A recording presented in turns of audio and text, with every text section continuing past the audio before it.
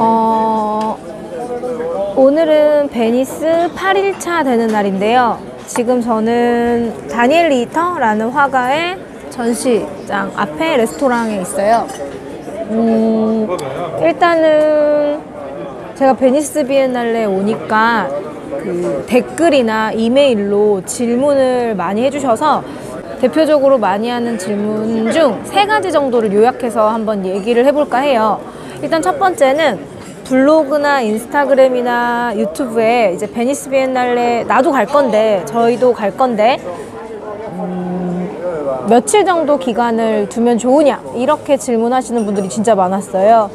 일단 이거는 정말 개인마다 다를 것 같은데 음, 미술을 어, 나는 많이 좋아하지 않는다. 하지만 베니스 기엔, 비엔날레를 즐기고 싶다. 이럴 때는 뭐 사실 3, 4일만으로도 충분하겠죠. 근데 나는 미술 애호가고 미술을 되게 좋아하고 베니스 비엔날레를 되게 자세히 보고 싶다. 이런 분들은 사실 10일도 너무 부족할 것 같아요. 8일 차인데 아직 제가 느끼기에 더 많이 보고 싶다라는 열망이 있거든요. 그 이유는 일단 첫 번째는 베니스 비엔날레 같은 경우는 역사도 가장 오래됐고 상당히 크게 열리는 미술 행사예요. 어떻게 보면 전 세계에서 가장 큰 행사고 국가관들이 다 자신들이 표현하고 싶은 아티스트나 각 국가관 파빌리온이라고 하는데요. 제가 앞에 영상에서 소개한 적이 있는데 각 나라가 자신들이 어, 사람들에게 보여주고 싶은 음, 아티스트와 작업들을 전시하기 때문에 국가관도 정말 많아요. 그래서 본전시가 있고 본전시는 총 큐레이터가 음, 지금 이 시대에 꼭 필요한 작가를 선별해서 주제에 맞게 전시를 하는 거죠. 이번 전시는 제 59회 비엔날레 큐레이터 세실리아 알레마니 그다음에 주제는 어, The Milk of Dreams라는 꿈의 우유라는 제목인데요. 어, 초현실주의 작가 레오노라 캐링턴의 그림책 제목이기도 합니다. 이 주제에 맞게 본전시가 꾸려지기 때문에 그냥 작업들이 다 총망라돼 있는 게 아니라 전시에 맞게 기획이 되고 어, 펼쳐지고 있어요. 그러다 보니까 본전시도 상당히 크고 자르디니와 아르세날레 두 군데 다 있습니다.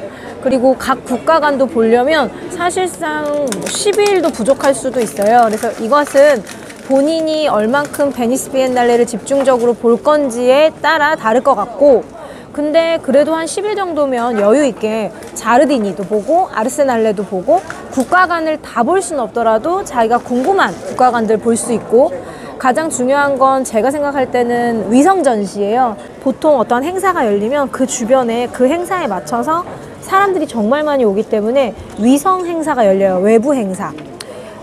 제가 얼마 전에 소개했던 안젤린 키퍼 전시라던가 루이스 네벨슨 전시라던가 이런 것들이 다 외부 전시인데요. 그러, 그런 것들을 이제 위성 행사라고 합니다. 위성 전시. 근데 지금 여기 제가 온 곳도 다니엘 리히터의 어, 전시이고 타데우스 로팍 갤러리에서 준비를 한 전시이기 때문에 이런 식의 좋은 어, 외부 기획 전시가 정말 많아요.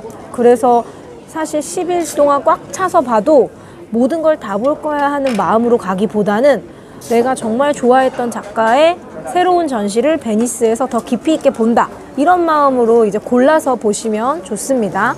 너무 가까이 찍어서 부담스러우셔서 좀 뒤로 했는데 제가 삼각대를 쓰는 거를 안 좋아해서 접히는 핸드폰을 사왔어요. 그래서 접어서 저를 봐- 보게 하고 찍으니까 잘 되네요. 어, 일단은 그 우리나라에서 널 위한 문화예술이란 채널이 있어요. 그 채널이 그 베니스 비엔날레의 역사나 유래, 우리나라 한국관이 어떻게 생겼는지, 어, 어떠한 의미가 있는지 이런 것들에 대해서 기본적인 설명을 많이 해놨기 때문에 제가 제 유튜브 내용에 밑에 그 글에다가 댓글에 널 위한 문화예술 채널에서 소개한 베니스 비엔날레를 올려놓을게요. 그런 어떤 기본적인 정보 있죠. 베니스 비엔날레 몇 년도에 생겼고 어땠고 어땠고 어땠고 이런 것들은 그 영상을 통해 보시면 좋을 것 같고 저는 컬렉터로서 베니스 비엔날레 왜 왔나 그리고 미술을 공부하는 꾸준히 공부하는 사람으로서 베니스 비엔날레를 본다라는 것이 어떠한 의미가 있나 이런 것에 대해서 좀 설명을 하고 싶어서 영상을 켰는데요. 어, 많은 사람들이 베니스 비엔날레가 변했다. 너무 상업적이다.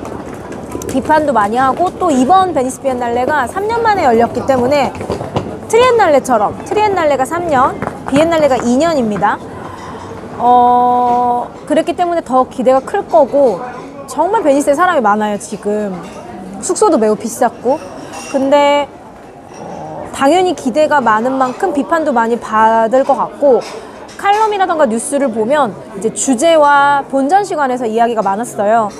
너무 작품이 많다 보니까 본전시 참여 작가가 200명이 넘잖아요. 213명 정도 되는데 그러다 보니까 조금 너무 heavy하고 양에서 근데 그게 미술 올림픽의 매력이 아닐까 반대로 생각해 보면 어, 나름 의미가 있다고 생각했어요. 특히 죽은 작가가 정말 많아요. 이번 베니스 비엔날레는 지난번 58회 비엔날레 때는 살아있는 작가들이 많았는데 살아있는 작가만 있었어요.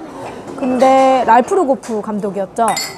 흥미로운 시대를 살아가기를이라는 전시였고 그때 저도 재밌게 봤는데 이번에는 제가 여성이어서가 아니라 잊혀진 여성 작가를 재조명해야겠다라는 목표가 되게 강하게 느껴질 정도로 이 세실리아 알레마니가 돌아가신 분들도 진짜 많이 소환을 했거든요. 예를 들어 제가 그림은 이로다라는 책에 소개했던 마리아 지빌라 메리안이라는 식물 그림을 그리는 여성 화가라던가?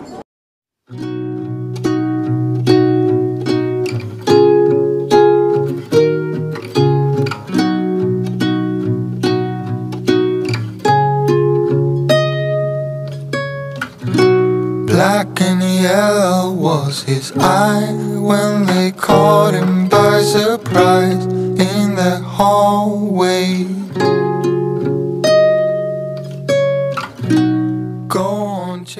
아니면 음, 꼭 미술이 아니어도 어, 다양한 무용 활동을 했던 흑인 댄서들이라던가 이런 작가들을 많이 소환을 했고 또 1600년대, 1700년대 작가들까지 본전시에서 볼 수 있기 때문에 이게 무슨 동시대 미술이야 이럴 수 있는데 그 동시대 미술 작가들에게 영감을 받은 후배 작가들도 같이 전시를 함으로써 연결고리들을 많이 만들어 나간 것 같아요. 그래서 정말 메모하듯이 전시를 보는 기분으로 봤고 이거는 공부하는 사람 입장에서 비엔날레를 본 관점이고 컬렉터 입장에서는 사실 우리가 물론 한국에서도 좋은 전시나 fair가 많이 열리지만 이런 큰 미술 행사, 특히 비엔날레는 향후 5년간의 미술계의 동향을 이해할 수 있어요.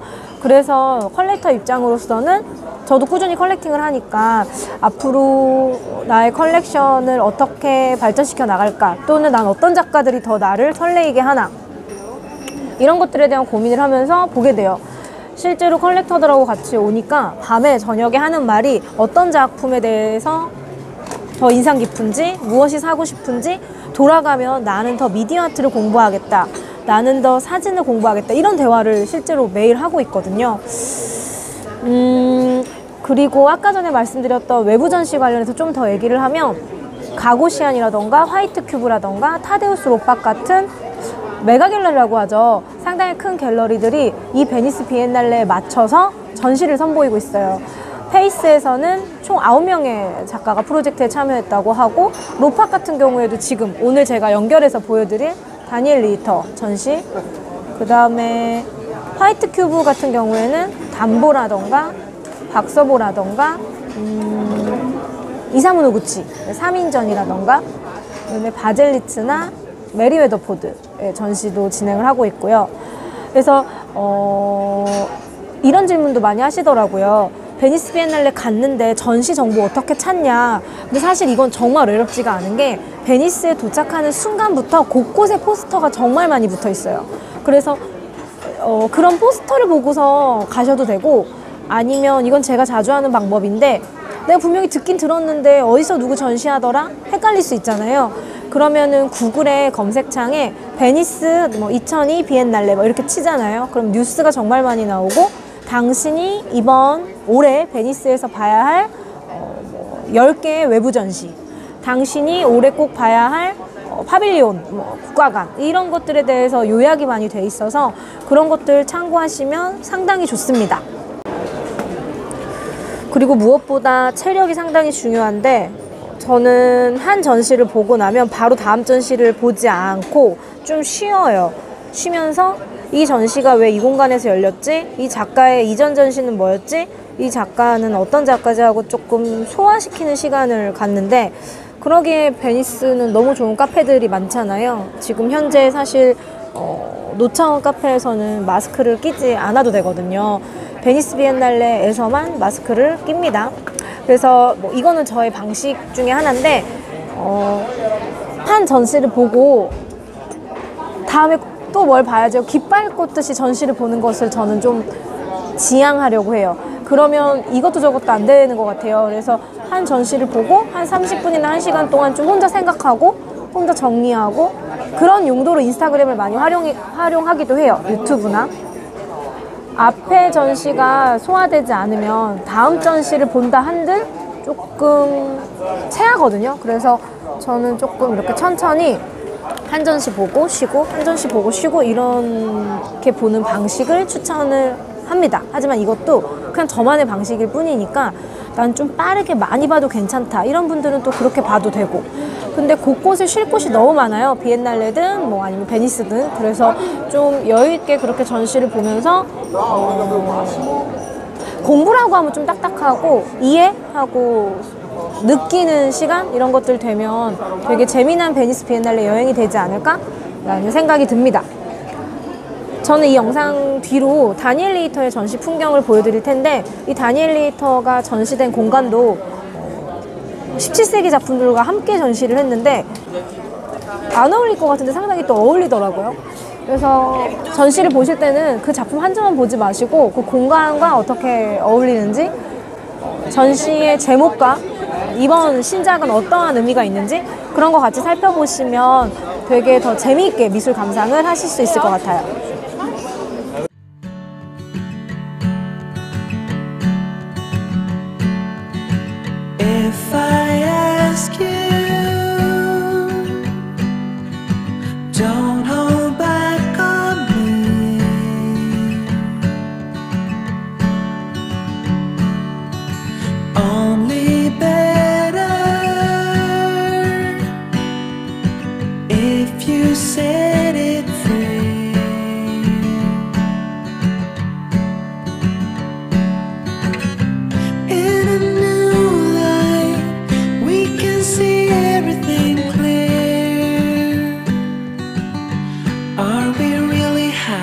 here.